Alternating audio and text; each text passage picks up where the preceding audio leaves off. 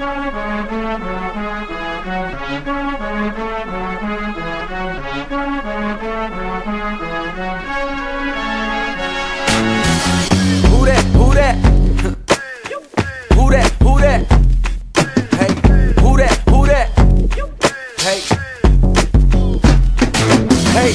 that? Who that? That nigga you been waiting for? I mean, the shit was all bad just a week ago.